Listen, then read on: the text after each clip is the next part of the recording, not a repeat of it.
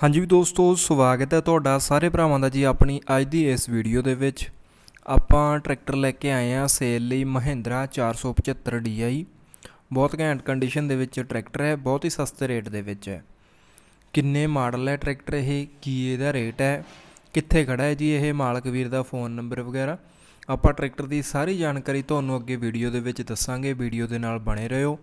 Video ਨੂੰ ਪੂਰਾ ਜ਼ਰੂਰ ਦੇਖ ਲਿਓ ਬਾਈ ਜੀ ਤੇ ਵੀਡੀਓ ਨੂੰ ਸ਼ੇਅਰ ਜ਼ਰੂਰ ਕਰ ਦਿਓ। ਵੱਧ ਤੋਂ ਵੱਧ ਗਰੁੱਪਾਂ ਦੇ ਵਿੱਚ ਆਪਾਂ ਹਰ ਰੋਜ਼ ਨਵੀਆਂ ਤੋਂ ਨਵੀਆਂ ਵੀਡੀਓਜ਼ ਚੈਨਲ ਤੇ ਲੈ ਕੇ ਆਉਂਦੇ ਰਹਿੰਦੇ ਆ ਸੋ ਵੀਡੀਓ ਦੇਖਣ ਵਾਲੇ ਸਾਰੇ ਵੀਰਾਂ ਨੂੰ ਪਿਆਰ ਭਰੀ ਸਤਿ ਸ਼੍ਰੀ ਅਕਾਲ।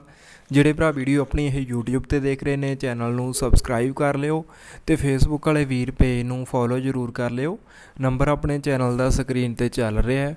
ਇਸ ਨੰਬਰ ਤੇ ਤੁਸੀਂ ਆਪਣੇ ਸਾਧਨ ਦੀਆਂ 5-7 ਫੋਟੋਆਂ ਤੇ 2 ਮਿੰਟ ਦੀ ਵੀਡੀਓ ਬਣਾ ਕੇ ਭੇਜ ਸਕਦੇ ਹੋ ਐਡ ਕਰਵਾਉਣ ਦੇ ਲਈ।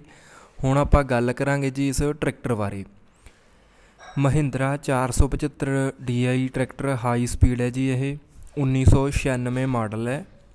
ਵੀਰ ਦੇ ਕਹਿਣ ਮੁਤਾਬਕ ਇਹ ਟਰੈਕਟਰ ਪਹਿਲੇ ਨਾਮ ਹੈ, ਪੰਜਾਬ ਨੰਬਰ ਹੈਗਾ। ਰੰਗ ਪੇਂਟ ਸਾਰਾ ਨਾਲ ਦਾ ਟਰੈਕਟਰ ਦਾ ਤੇ ਇੰਜਨ, ਗੇਅਰ ਸਾਰਾ ਕੁਝ ਬਹੁਤ ਵਧੀਆ ਕੰਡੀਸ਼ਨ ਦੇ ਵਿੱਚ ਹੈ।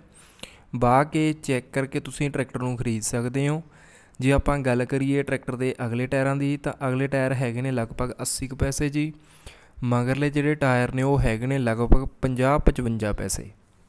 ਜੇ ਕੇ ਕੰਪਨੀ ਦੇ ਟਰੈਕਟਰ ਦੇ ਟਾਇਰ ਨੇ, ਟਰੈਕਟਰ ਦੀ ਕੰਡੀਸ਼ਨ ਵਗੈਰਾ ਤੁਸੀਂ ਦੇਖ ਸਕਦੇ ਦੇਖ ਸਕਦੇ ਹੋ ਜੀ, ਵਧੀਆ ਸਾਫ਼ ਸੁਥਰੀ ਕੰਡੀਸ਼ਨ ਦੇ ਵਿੱਚ ਇਹ ਟਰੈਕਟਰ ਸੇਲ ਲਈ ਹੈ। 1.5 ਲੱਖ ਰੁਪਈਆ ਵੀਰ ਵੱਲੋਂ ਟਰੈਕਟਰ ਦਾ ਰੇਟ ਰੱਖਿਆ ਗਿਆ, ਮੌਕੇ ਤੇ ਘੱਟ ਹੋ ਜਾਊਗਾ ਰੇਟ ਕੋਈ ਫਿਕਸ ਨਹੀਂ।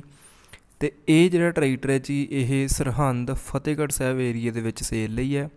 ਜੇ ਕਿਸੇ ਭਰਾ ਨੇ ਟਰੈਕਟਰ ਖਰੀਦਣਾ ਹੋਵੇ, ਮਾਲਕ ਵੀਰ ਦਾ ਫੋਨ ਨੰਬਰ ਵੀਡੀਓ ਦੇ ਟਾਈਟਲ ਦੇ ਵਿੱਚ ਦਿੱਤਾ ਹੋਇਆ ਤੁਸੀਂ ਇਹਨਾਂ ਨਾਲ ਸੰਪਰਕ ਕਰਕੇ ਟਰੈਕਟਰ ਨੂੰ ਖਰੀਦ ਸਕਦੇ ਹੋ।